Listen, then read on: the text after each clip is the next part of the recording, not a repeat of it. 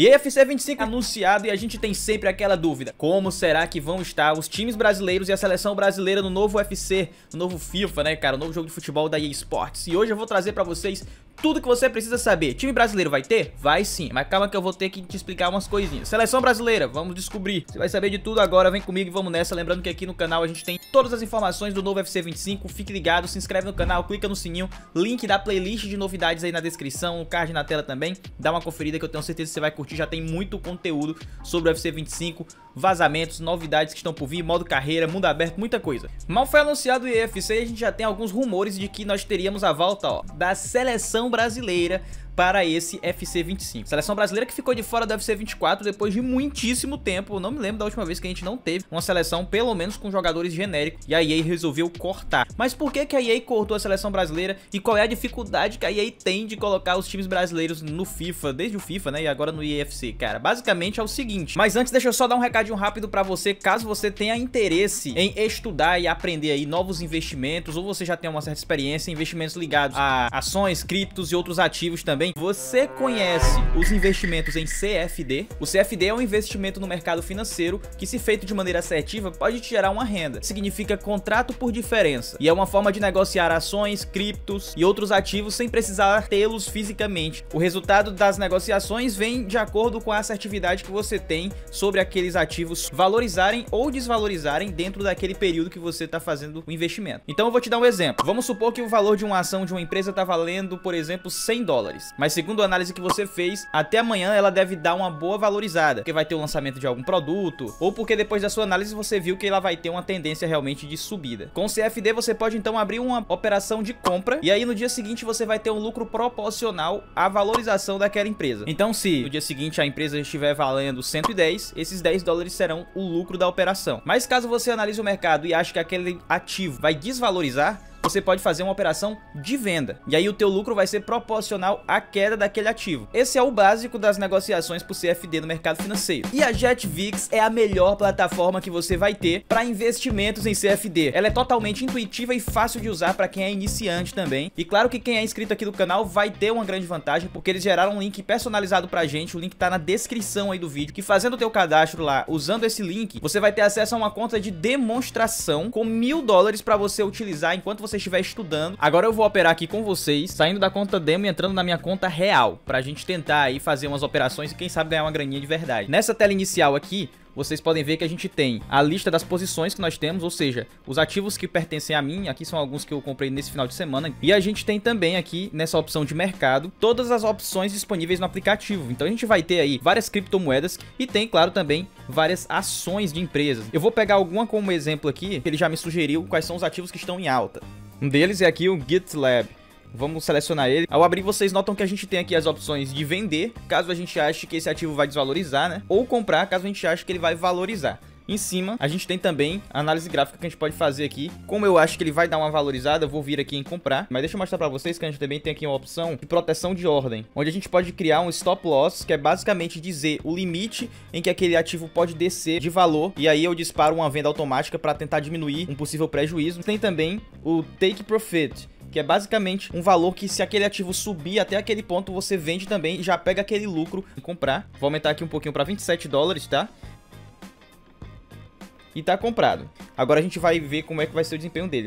Alguns minutos depois. E muito bem, cá estou eu de novo. Alguns minutos depois, meus amigos, como vocês podem ver, ó, as ações da GitLab já deram umas valorizadazinha. Então a gente já tem aqui elas chegando a 55,96 e se eu fechar a posição agora, eu já lucro esses 2 dólares e 25 centavos em poucos minutos, né? Vou fechar aqui para mostrar para vocês como exemplo, ó posição, ó, ainda aumentou mais um pouquinho. E a gente obteve 2,30 dólares de lucro, cara, em poucos minutos, né? O miserável é um gênio! Coisa rápida e a gente tem uma valorização bacana. Inclusive, eu vou aproveitar que eu já tô aqui e vou fechar também uma outra posição minha dessa, dessa cripto aqui, ó, que eu já deixei aberto desde o fim de semana, né? Tô monitorando ela. Então vou fechar também pra gente já pegar esse lucro aqui. Pronto, mais 16 dólares e 99 centavos. Pra você operar, é lógico. Estuda antes, traça uma estratégia. E claro, a gente tem o cupom exclusivo do canal, que é boleiro125. Você usa na hora que fizer o teu cadastro, que vai te dar 125% de bônus no seu primeiro depósito a partir de 20 dólares, tá? As retiradas podem ser feitas a qualquer horário do dia dia, sem atrasos e através do Pix também. E tem um outro detalhe muito interessante, cara. A JetVix, ela tem um sistema chamado Respawn, que é exclusivo deles, tá? Onde caso você acabe perdendo o capital investido nos primeiros 7 dias a partir do primeiro depósito,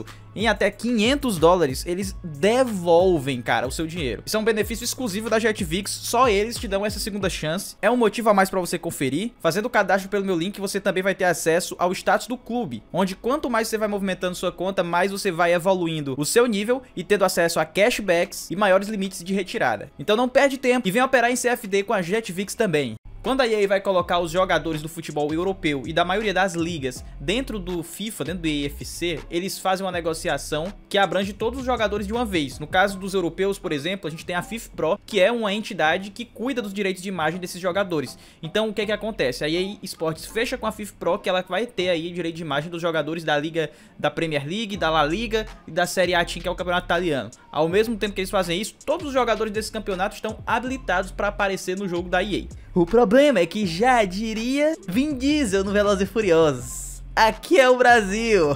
E aí, meu amigo, a lógica vai pro cara. No Brasil, uma empresa que quer colocar jogadores no seu jogo, a pasmem, tem que negociar jogador por jogador, tá? É isso, por exemplo, que a Konami faz para colocar alguns jogadores no eFootball e botava no PES também, e é por isso que tinha muitos problemas, que às vezes o cara não atualizava, às vezes não vinha um jogador atualizado, era difícil de renovar, é por causa disso, velho. Inclusive, a EA Sports ela já tentou colocar alguns jogadores recentemente do futebol brasileiro e deu muito problema, tá? Recentemente, eu falo alguns bons anos atrás, já houveram vários processos, inclusive recentemente, bem recentemente mesmo, teve processo por parte do Calera e do Rafinha, para vocês terem noção de uso de imagem deles enquanto eles estavam aqui no Brasil, mas no jogo eles estavam aí nos seus ex-times europeus. Então os caras realmente são meio oi grande aí, não só esses dois aí, mas os outros que processaram também. Eu não vou entrar aí no, na discussão se os jogadores jogadores estão certos ou não, mas na minha opinião, cara, principalmente jogador assim de futebol brasileiro, eu acho que para eles é melhor eles estarem no jogo, né? A imagem deles vai ser divulgada para muito mais gente do que não estarem, mesmo mesmo que o valor fosse baixo ou algo do tipo. Realmente eu acho meio esquisito, mano, os caras ser contra isso, mas enfim. E aí a EA prefere nem se meter nessa, nessa briga de jogador por jogador, tentar ir assinando.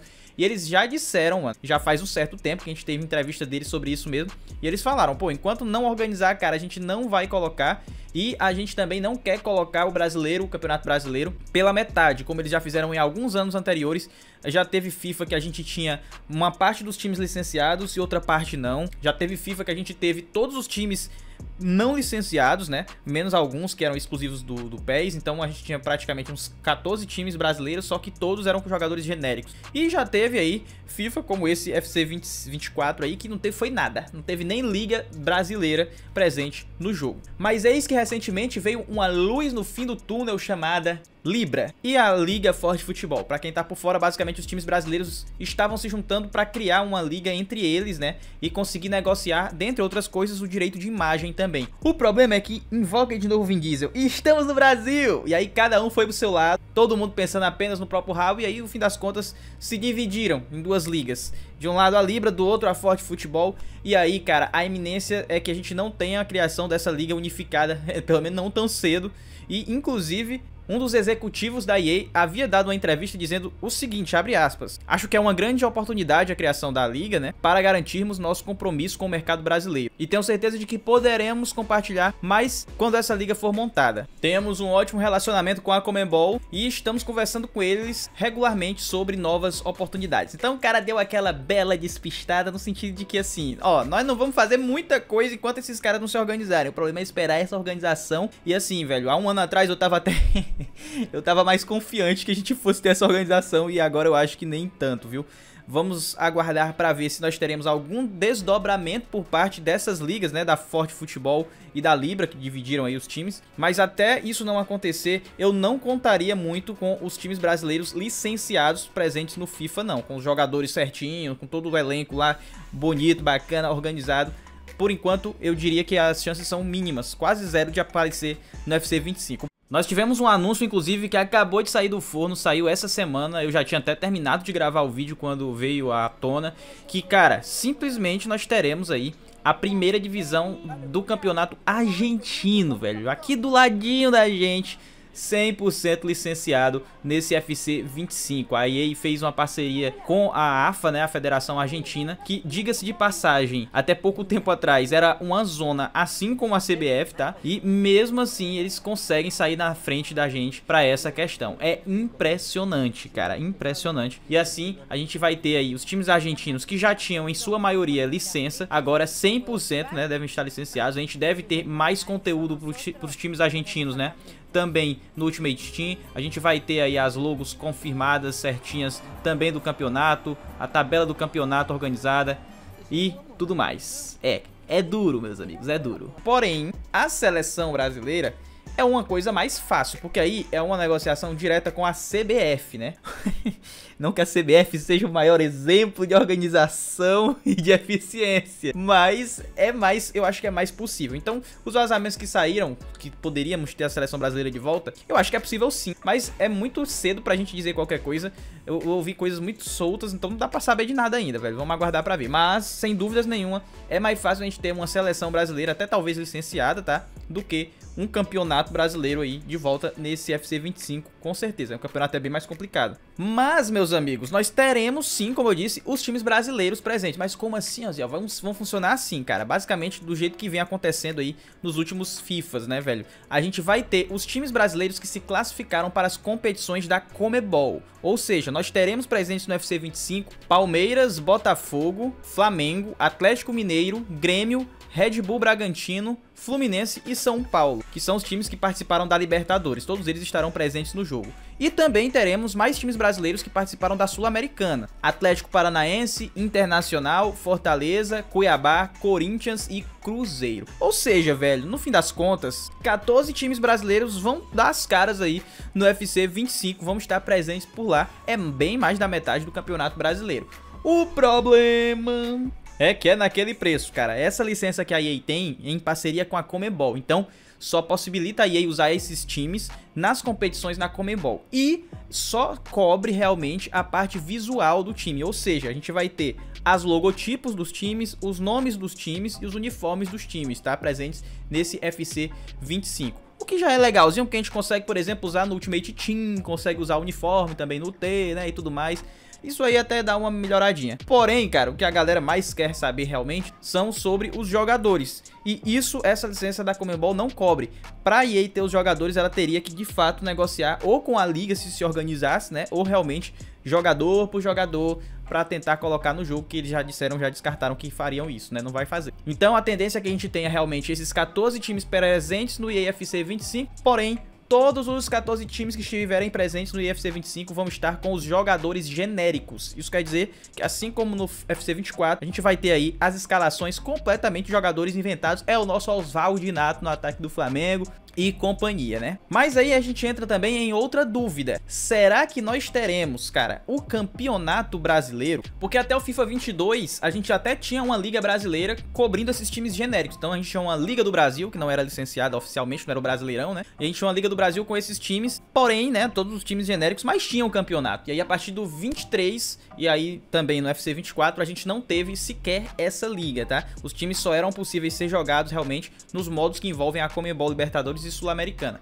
E a tendência, meus amigos, infelizmente, é que realmente nesse UFC 25 isso seja mantido. Então, a expectativa é que no UFC 25 a gente consiga jogar com os times brasileiros apenas se a gente for jogar o modo torneio, né, que a gente pode jogar aí uma Comembol Libertadores ou uma Comembol Sul-Americana, ou o modo de amistoso que a gente assume aí os times da Comembol, né? Também tem essa opção. E olha que nem tem um modo específico para você jogar uma Sul-Americana. Para você conseguir simular uma competição de Copa Sul-Americana, você teria que vir aqui em um torneio personalizado dentro do jogo, fazer as configurações de uma forma que ficasse parecido e daí na hora de selecionar os times, escolher aqui realmente a liga, entre aspas, sul-americana para ir colocando os times que tem lá, né? E aí você consegue montar uma sula meio fake também, né? Mas dá para fazer.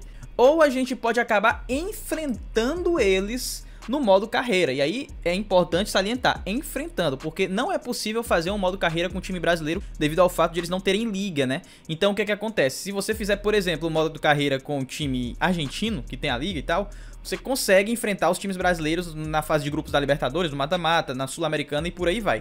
Porém, assumir o time brasileiro e jogar aí realmente não rola. Acaba que a única forma de se jogar um modo carreira com o time brasileiro é usando pets no PC exclusivamente. Se você quiser, inclusive, já tem o pet do UFC 24 que eu uso, que é o da FIFA Mania News, muito bom. O link tá na descrição aí se você quiser adquirir. Ele é baratinho e completo, tá? Tem todos os times brasileiros, Série A, B, C, D, a galera consegue fazer isso para dentro do jogo. Porém, para os consoles realmente não tem como. E a forma que você consegue usar os times brasileiros da forma mais bem feita possível seria basicamente aquele velho trabalho de corno, tá ligado?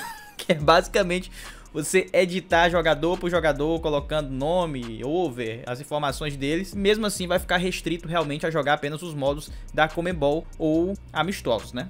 Mas e aí, Oziel? Quando é que a gente vai ter, então, esses times brasileiros, já que provavelmente não vai vir nesse FC 25? Como eu disse pra vocês, a expectativa aparentemente é que demore um pouco, porque depende muito dos próprios times brasileiros, dos jogadores, da organização do futebol nacional, da CBF. Então é, não é lá uma coisa tão simples. Existem fatos novos que podem acontecer, é claro. Vai que os times conseguem chegar num consenso e criam uma liga, ou eles dividem realmente as vendas dos direitos autorais para jogos entre as duas ligas e conseguem acelerar esse processo. Ou até mesmo o fato da chegada de novos concorrentes no mercado, como por exemplo o possível FIFA 2K que está por vir aí, possivelmente, né? E aí eles podem aquecer esse mercado brasileiro, de repente eles tentam assinar e aí, aí, aí tem que correr atrás, então tudo isso pode acontecer. Mas a verdade é que se as coisas continuarem do jeito que está, eu não sei se a gente vai ter os times brasileiros, pelo menos num curto prazo aí, presentes na franquia do FIFA do IFC, não, cara. Vai ser complicado. Já a seleção, né, como eu disse, é mais possível, mas só quando eles divulgarem realmente aí os times que vão estar no jogo que a gente pode ter mais alguma certeza. Mas realmente por hora não tem como a gente cravar nada. E só em ter a seleção especificamente, eu acho que tem uma condiçãozinha dela vir também, porque, cara, a galera gringa também sentiu bastante falta, tá? Não foram só os brasileiros, eu já vi várias matérias internacionais, né, da galera falando, pô, como é que pode a seleção brasileira uma das melhores, não tem nem genérico, porque quando a seleção brasileira tinha genérico no FIFA, a gente tinha pelo menos a convocação no modo carreira acontecendo mais realista, né, porque a convocação era automática e puxava os jogadores reais, né, então, se você jogasse um modo jogador, você conseguia jogar na seleção brasileira, se você jogasse um modo treinador, você conseguia ver também, enfrentar a seleção brasileira com jogadores reais. E isso perdeu também depois que saiu, tiraram, cortaram uma seleção brasileira. Então a galera sentiu muito falta, então acho que a seleção ela tá um passo à frente de voltar. Porém, os times brasileiros Esquece, não tão cedo. Deixa o que vocês acharam aí nos comentários, se vocês têm alguma expectativa para times brasileiros pintarem em curto prazo aí no, no IFC, o que, que, vocês acham dessa situação. Comentem também dúvidas que vocês tenham sobre esse ou outro assunto referente ao jogo e também sugestões de vídeos que vocês querem ver aqui, dúvidas também sobre o UFC 25, beleza? Lembrando para vocês que a gente tem séries, inclusive de modo carreira, inclusive com time brasileiro também, tudo aqui no canal, que a gente usa o patch no, no caso, né? Os links vão estar aí nos cards e na descrição e também eu vou deixar a playlist de novidades aí do UFC 25 para você ficar 100% atualizado. É ruim de aturar aí em todas as novidades do novo jogo, beleza? A gente vai ter muita gameplay quando o jogo sair por aqui também, então você tá no lugar certo, clica no sininho pra receber as notifications. Um grande abraço, meus amigos, confere os vídeos que eu vou estar tá deixando aí pra você. É isso, tamo junto, até a próxima, valeu e fui!